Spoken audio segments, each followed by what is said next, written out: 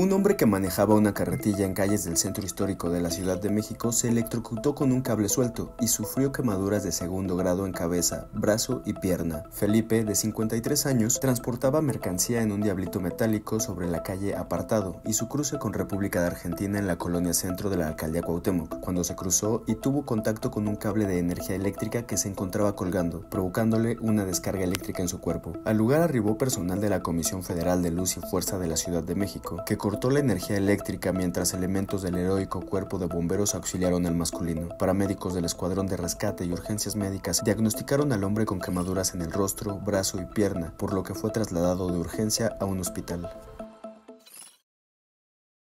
Mantente informado con el Universal y suscríbete a nuestro canal.